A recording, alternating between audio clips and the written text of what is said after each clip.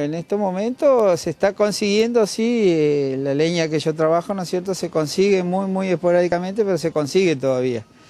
Eh, como recién te comentaba fuera de cámara, es una leña que viene un poquito lejos, ya acá en Entre Ríos no se consigue.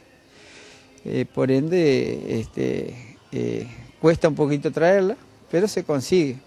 Estamos hablando de Ñandubay Campana. Ñandubay Campana, exacto. ¿Y los precios?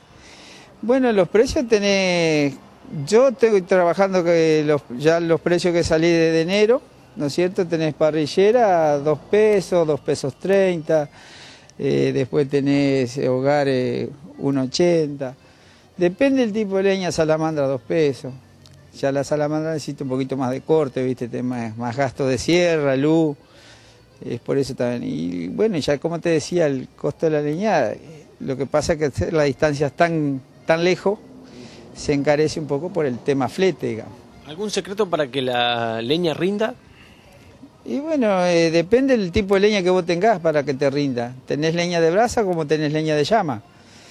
Eh, vos para calentar hoy en un hogar no, necesitas, digamos, tener buena leña, con cualquier ramita lo vas a poder calentar. Lo que pasa es que poniendo una leña de campana te va a aguantar más que cualquier ramita en cuanto a la, candencia que tiene, ¿no es cierto?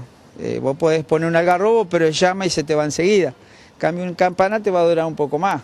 Un troco, ponele vos en 12 kilos, como yo le comentaba el año pasado a una colega suya, eh, usted poniéndolo, digamos, 6 de la tarde, 9, 12 de la noche, tenés buena brasa y buena temperatura en el hogar, sino que hay que saberlo aprovechar al hogar, tanto como a la salamandra en su momento que uno está en un hall, en una cocina, un comedor, que uno lo enciende, aprovechar esos momentos, ¿no es cierto? Prender una hora antes, pues cuando vos ya estás dentro de tu casa y aprovechar la temperatura. Con respecto al año pasado, ¿se modificó el precio? Sí, hubo una vez como todo, esto es una cadena.